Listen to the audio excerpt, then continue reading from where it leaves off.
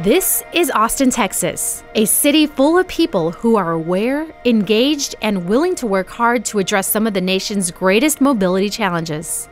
Austinites know if we're going to move beyond traffic, we need to address existing barriers, revitalize connected corridors, mobilize underserved communities, and empower residents to access a full range of mobility options.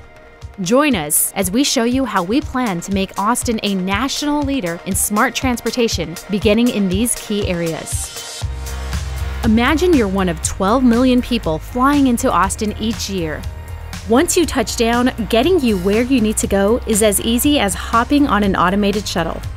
The shuttle will take you to the airport smart station that serves as a travel hub, bringing together a wide variety of mobility services to start or finish that last mile leg of your trip. One of those options? The Electric Bus Rapid Transit Line, or EBRT. The EBRT leads to Riverside Drive, Austin's first connected corridor. The folks along this corridor are serious about walking and biking, but they want to be able to do so safely and efficiently. So it makes perfect sense to equip area buses with Mobileye 360 cameras to detect even the most vulnerable of our road users. Dedicated lanes and roadside sensors give transit and emergency vehicles priority access. These smart technologies make it that much easier to visit the social and economic core of the city and the downtown Austin Smart Station, Nearby is the state capitol and the University of Texas at Austin, home to more than 50,000 students, many of whom do not own a car. At the Smart Station, pedicabs, bike share, ride share, car share, transit, and taxis are all available through our Mobility as a Service app, the Mobility Marketplace. Use your smartphone to plan, schedule, and pay for transportation. One app, one payment, all options. As we travel north of campus, we'll arrive in the Rundberg neighborhood and the site of another smart station.